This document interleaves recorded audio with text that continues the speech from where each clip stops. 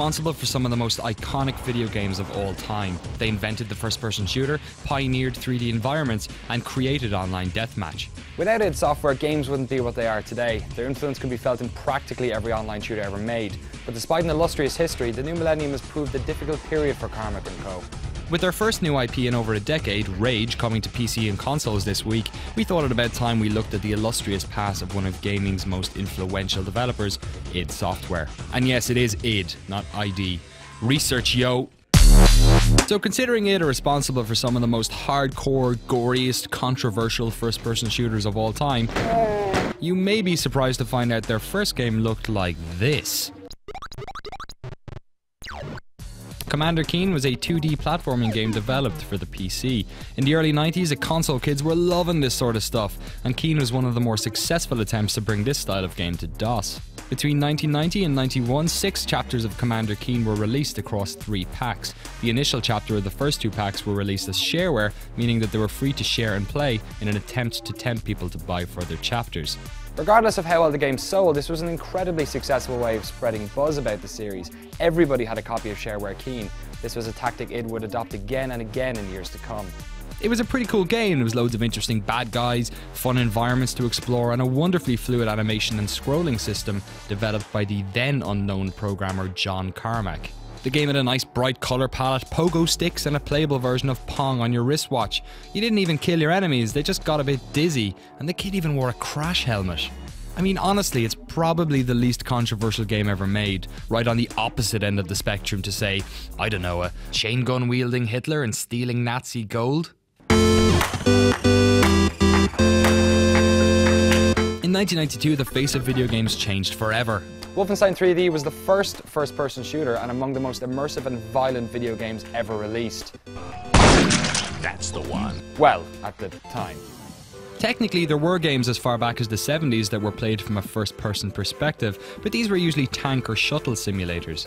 Wolf 3D laid the foundations of the FPS, most of which are still pillars of the genre today. You can use a collection of weapons, explore environments, kill bad guys, find keys, open doors, eat plates of chicken, and shoot dogs in the face. Shooting dogs in the face? Talk about wish fulfillment. Uh, uh, yeah, mm, uh, yeah, mm, take that, you son of a bitch. Its realistic gore and ultra-violence were really popular with gamers. It caused a bit of a stir in the media and was banned in Germany, what with all those swastikas. In fairness, even the levels were made of swastikas. But nothing compared to what id had next in the pipeline.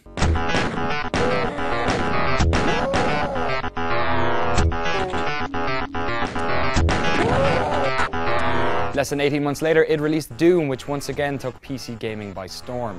Unlike Wolfenstein, which gave the appearance of 3D but was actually using a very clever raycasting technique, in Doom the levels were self contained three dimensional spaces that you were free to move around in and explore. It was nothing short of a revolution. Suddenly, the world you were in became as much of an enemy as the monsters wandering its corridors. This opened up Pandora's box of design possibilities. Levels could have varying heights, have dangerous falls, lava pits, tight dark corridors, and wide outdoor arenas. And then there was all the innovations in character design, weapon design, and audio. It was also the first game that allowed mods to be installed. And probably most important of all, Doom was the first ever game to have networked multiplayer as we know it today. Everybody had Doom, or at least the first chapter, which, like Commander Keen, was released as shareware. Once boring old media types caught sight of it, they were outraged by its gore, violence, and demonic symbolism. They went out and told the world that millions of kids were being corrupted and couldn't stop playing it. What they failed to realise is that the reason everybody was hooked on playing Doom was because it was bloody amazing! Up until that point, I was stuck playing games like the Great Giana Sisters and Jack Nicklaus Golf. And then Doom came along and let me chainsaw necklace freaks to bits while listening to 8 bit death metal. Suddenly, being a PC gamer wasn't all about solitaire and Minesweeper. Suddenly, being a PC gamer was badass. The sequel, released in 1994, had no major technical, graphical, or mechanical changes, but it did add LAN support, co op, a bunch of new enemy types, and the super shotgun. The story continued immediately after the events of the first game, where, you guessed it, a bunch of hell was running amok on Earth.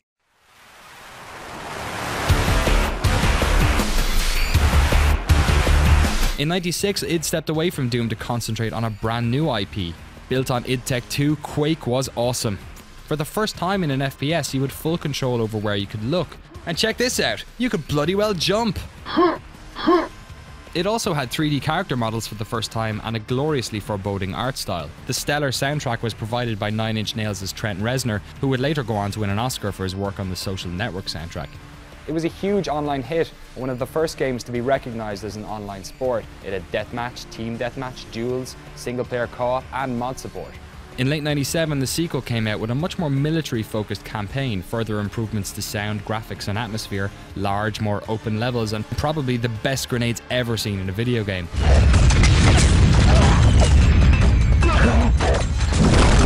But multiplayer is where Quake 2 thrived. It became a massive online hit, so much so that when the time came to make another Quake, it decided to take one of the most ballsy design decisions of all time.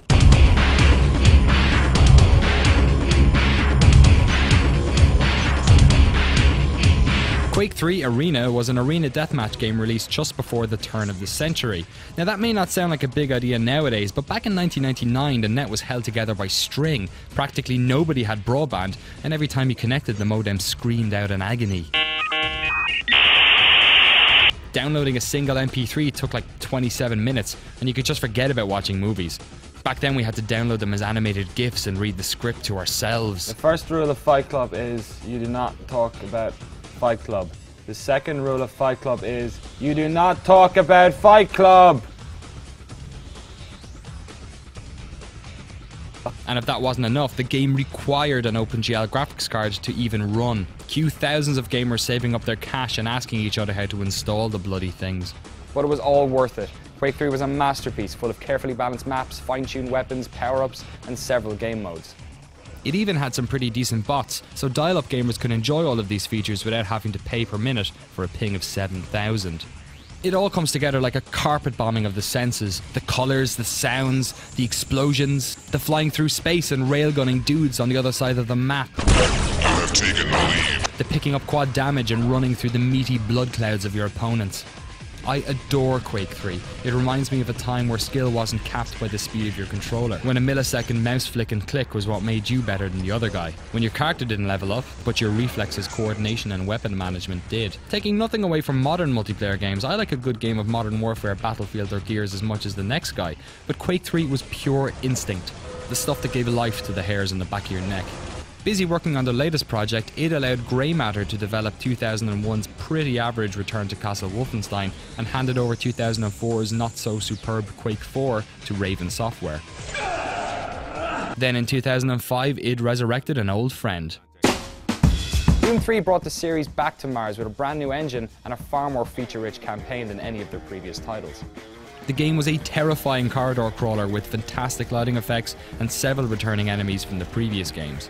The only way some gamers could actually cope with the horror of it all was to modify the gun mounted flashlight to look like a Hello Kitty logo. Ah, uh, that's better. Ah! In recent years, it have collaborated with third party developers on a remake of Wolfenstein and squad based shooter Enemy Territory Quake Wars. In house projects have included Quake Live, the addictive free to play browser version of Quake 3, a more traditional port of the game to Xbox Live Arcade, and the iPhone hit Wolfenstein RPG. Then development focused on Rage, their post-apocalyptic shooter slash car combat game. I've only played a few hours, but it feels like everything you'd expect from an id game. Stunning visuals, challenging enemies, an arsenal of awesome weaponry, and a story you basically stop caring about within minutes of starting the game. The vehicle combat works surprisingly well, and the atmosphere felt while walking through the game's cities is superb. The problem for it is that they were masters of a genre that others have milked dry. Each id game brought something new to the FPS table, where once we had innovation, we now have duplication.